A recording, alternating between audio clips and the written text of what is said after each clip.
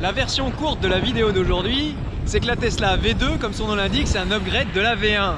Oui, euh, c'est sa version 2019, pour pas dire 2020, oui, parce que la roue est sortie en 2019, mais elle a mis un peu de temps à arriver chez nous. Bref, c'est quoi les nouveautés? C'est un coupe-circuit dans la poignée, et puis des haut-parleurs intégrés. Sinon, dans l'absolu, la Tesla, c'est une super roue avec un petit gabarit par rapport à ses capacités. Ah bah là, une petite euh, Fiat 500 qui a un petit gabarit par rapport à ses capacités, pareil.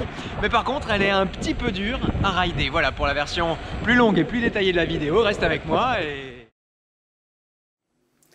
Salut à toi Et avant de commencer, j'aimerais d'abord saluer Maria et Silver chez Giro Shopkey. Le carton à peine arrivé dans leur boutique, l'ont déballé pour mettre la roue sous mes pieds que je puisse la tester. Cette roue-là, la Tesla V2 de chez Gotway, qu'on a très longtemps attendue en France et qui a fini par arriver. Youpi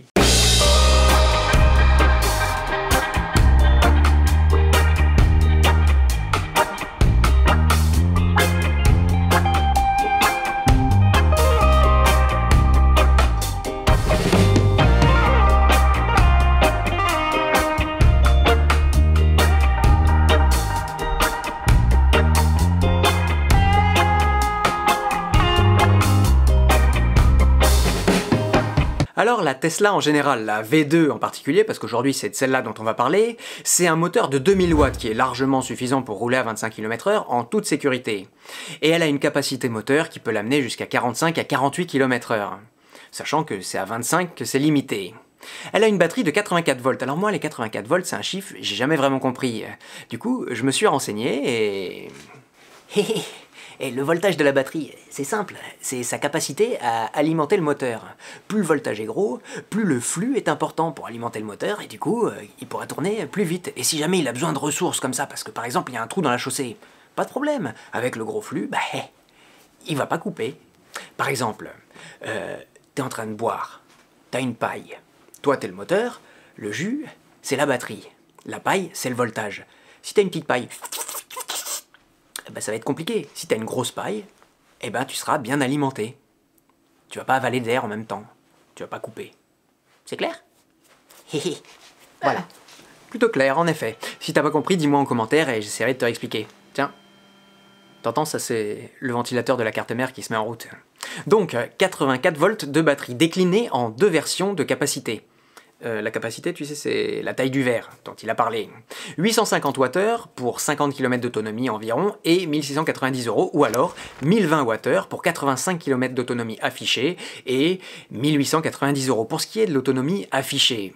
Bah on sait jamais, ce que je peux te dire c'est que moi j'ai fait 45 km en une journée avec une batterie de 1020 Wh et quand je suis arrivé il restait 40%. Tu peux faire ta règle de 3 et puis euh, voilà. Avec des caractéristiques comme ça, on se dit que la Tesla est plus proche d'une Nikola ou d'une 16X, enfin des modèles 2019, euh, parce qu'en 2020, Nikola arrive avec une 100 volts, donc une grosse paille, et 1845 Wh de batterie. Mais elle est pourtant montée sur un pneu 16 pouces, cette Tesla de 16 pouces x 2,125 pour être précis. Tu sais, c'est le même que la V8F qu'on a récemment testée. Voilà, et puisqu'on parle du pneu, parlons un peu de ce qu'elle donne sur la route. Et eh bah ben, sur la route, je dirais que la Tesla 2, elle est meilleure au kilomètre lancé qu'au départ arrêté, si tu vois ce que je veux dire. Oui, l'accélération et le freinage, même en mode souple sur l'application, euh, c'est quand même dur, c'est quand même fort. C'est pour ça qu'on dit que les Gotway sont plutôt réservés aux initiés. Et à la fin de la journée, en ville, à force d'accélérer, de freiner, d'accélérer, freiner, ça commence à peser. Par contre, pour rouler, quand t'es lancé, c'est le pied. Je te confirme que cette roue-là, il faut pas la conduire à moitié, non, il faut vraiment s'engager. Autant pour accélérer que pour tourner. Bon, évidemment, tu peux tourner à faible vitesse et tu peux la contrôler qu'avec les pieds, mais ce sera quand même plus compliqué. Et puis finalement, c'est ça son plaisir, c'est de s'engager à fond. Et là, tu glisses, là, t'es bien, là, tu te fais plaisir. Retour à l'atelier. Avec mon poids, même en mode souple dans l'application, tu te retrouves euh, quasiment sur la pointe des pieds pour avancer. Donc cette roue, on dira qu'elle est plutôt faite pour les gros rouleurs, et même plutôt pour les trajets euh, où tu seras pas interrompu sans arrêt. C'est aussi une très belle urbaine pour les gros gabarits, dont je fais pas partie. À manipuler, elle est plus proche d'un gros gabarit donc euh, que d'un petit. Maintenant, on parle ergonomie. Et l'ergonomie, moi, si t'es pas nouveau sur la chaîne, tu sais que quand je parle de roue, bah, j'y suis attaché. Et là, on va pas être déçu. On commence par le trolley, qui est séparé de la poignée. C'est une option que je commence à vraiment apprécier parce que ça permet de lever la roue sans baisser la poignée. Si t'as seulement quelques marches à monter, t'es pas obligé de baisser le trolley pour euh, le relever après. Dans une gare ou un magasin, ça favorise la fluidité. Le trolley donc, il est plutôt chouette parce qu'il se tire simplement. Il n'y a aucun bouton sur lequel tu devrais appuyer. Ça évite les petites pièces qui peuvent s'abîmer. Tu sais, par contre, eh ben, quand on marche à côté, eh ben, il n'y a pas de cran d'arrêt. Alors il monte, il descend, il fait des va-et-vient comme ça, et c'est un peu pénible à la. Et puis là-haut, il culmine à 87 cm. Je t'ai déjà dit, c'est pas très haut pour les grands. Et puis aussi, euh, bah oui, c'est important les trolley. En regardant les images, je me suis aperçu que, tu vois là, finalement, euh, il était jamais complètement rangé. Ce qui est bien, c'est que du coup, tu as une vraie poignée quand tu veux le tirer. Parce que sinon, tu as simplement euh, cette petite chose-là, et j'avoue que c'est pas très pratique. Mais en fait, il dérange pas. Donc on le laisse comme ça. Voilà. Pour porter la roue, justement, tu as un coupe-circuit sous la poignée, un coupe-circuit cliquable, et musical. Puisqu'on parle de sonorité, on a, c'est une nouveauté, ici et de l'autre côté, des haut-parleurs intégrés.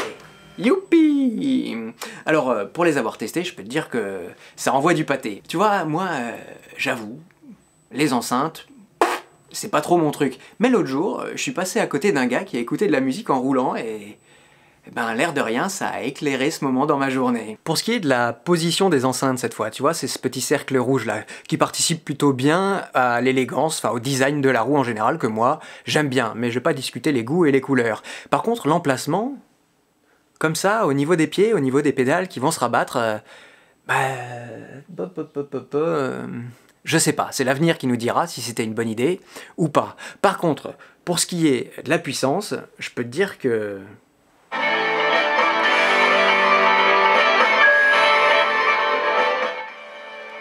ça crache. J'assume pas tout à fait, mais bon, euh, pour toi, fallait bien tester euh, les enceintes, euh, vraiment.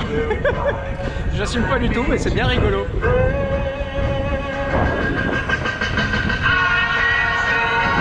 Ou alors, toi les enceintes, t'es pour, t'es contre. Ça met de bonne humeur. Faut mettre à fond, avec le vent, on n'entend plus rien. Hein.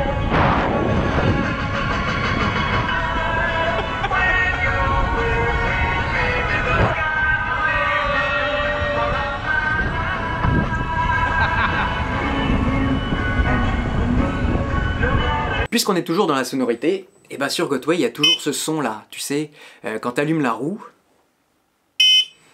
On l'avait déjà constaté, tu sais.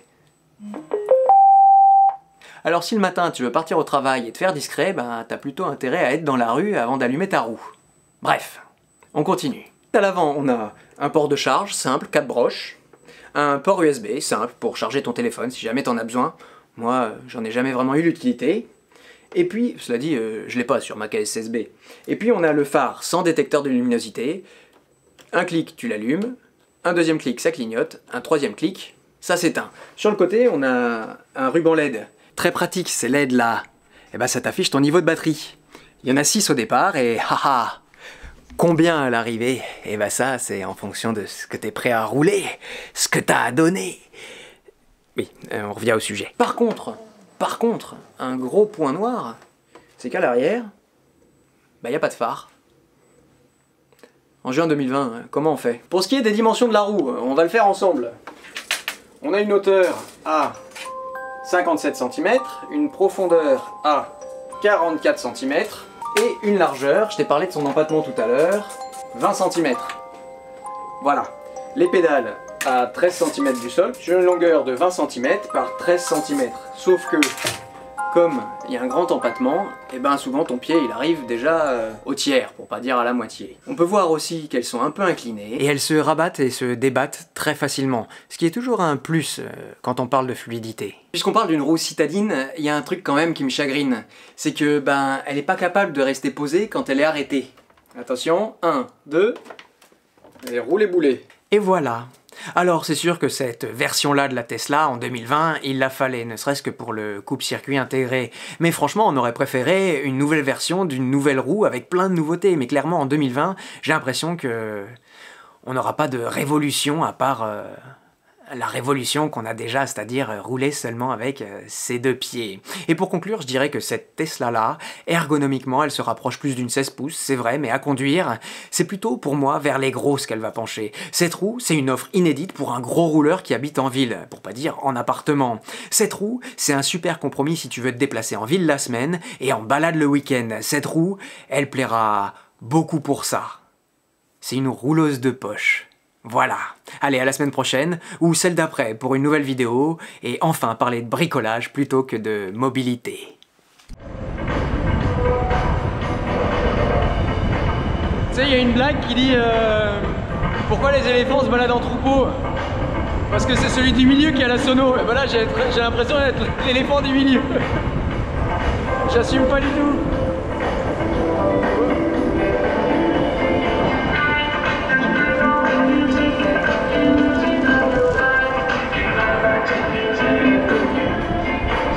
Pas pour ses abonnés D'ailleurs, euh, ça y est, t'es abonné Ouais, j'arrête.